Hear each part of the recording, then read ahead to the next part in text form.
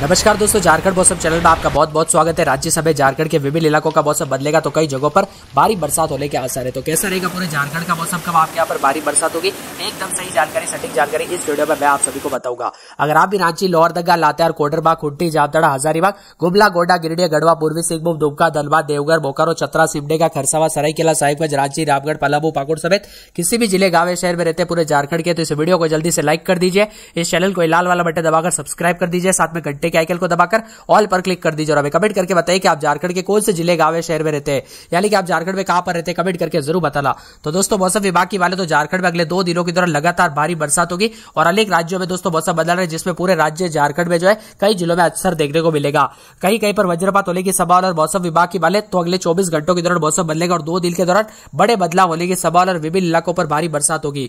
मौसम विभाग की वाले तो विभिन्न इलाकों पर वज्रपात और भारी बरसात होगी। अगले चौबीस से अड़तालीस घंटों के दौरान देवघर, धनबाद दुमका, गिरिडीह गोडा जामतड़ा, पाकुड़, साहिबगंज, पूर्वी सिंहभूम पश्चिमी सिंहभूम सिमडेगा, सरायकेला, खरसावा ज़िले में कई कहीं पर भारी बरसात होने के आसार है और मौसम विभाग रांची के मुताबिक बताया जा रही है इसकी जानकारी देते हुए कहा गया कि अगले तीन घंटे के दौरान झारखंड में कई जिलों में वर्षा के वर्षा के साथ जो है वज्रपात होने की आशंका है।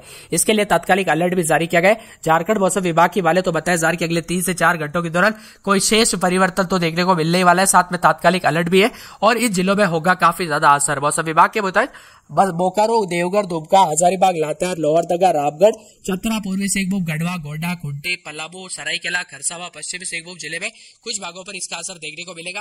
मौसम विभाग ने अलर्ट जारी करते हुए कहा कि लोग सावधान रहे, अपना ख्याल रखें और रहा की सुरक्षित जगहों पर रहे। मौसम विभाग की माने तो तेज हवाई चल रही है। साहिबगंज में बासठ प्रतिशत कम वर्षा हुई है और रहा है छब्बीस प्रतिशत कम वर्षा झारखंड में देखने को मिली। सबसे अच्छी वर्षा पूर्वी सिंहभूम में छह प्रतिशत अधिक हुई है। और मौसम विभाग की लेटेस्ट और ताज़ा जानकारी के मुताबिक, मौसम विभाग के मुताबिक बंगाल की खाड़ी में बने दोस्तों मध्य हिस्से में बना एक साइक्लोनिक सर्कुलेशन के निम्न दबाव से परिवर्तन होकर व्यापक रूप धारण कर लिया इसके उत्तर पश्चिमी दिशा में बढ़ने के आसार और इसी वजह से काफ़ी ज़्यादा जगहों पर मौसम बदलेगा।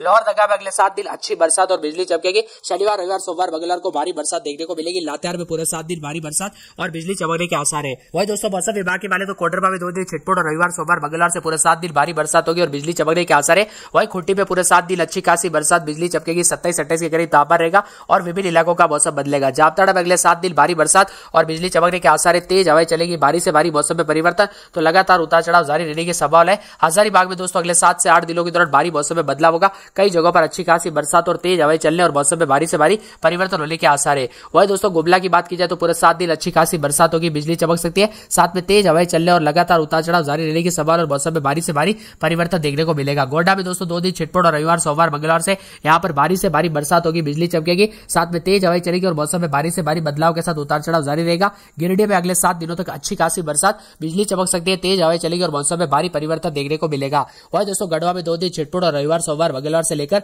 पूरे सात दिन तक भारी बरसात और बिजली चमकेगी। साथ में तेज हवाओं के साथ लगातार उतार चढ़ाव जारी रहने की संभावना काफ़ी अधिक जताई जा रही है। पूर्वी सिंहभूम में अगले चार से पाँच दिन भारी बरसात, बिजली चमकने के आसार लगातार उतार चढ़ाव जारी रहेगा और कई जगहों पर तेज मौसम में परिवर्तन होगा। दुमका में अगले सात दिनों तक तैतीस, चौतीस के करीब तापमान रहेगा। भारी मौसम में परिवर्तन के साथ अच्छी बरसात, बिजली चमकेगी। साथ में लगातार उतार चढ़ाव जारी रहने की संभावना है धनबाद में अगले सात दिनों तक अच्छी खासी बरसात होगी, बिजली चमकेगी।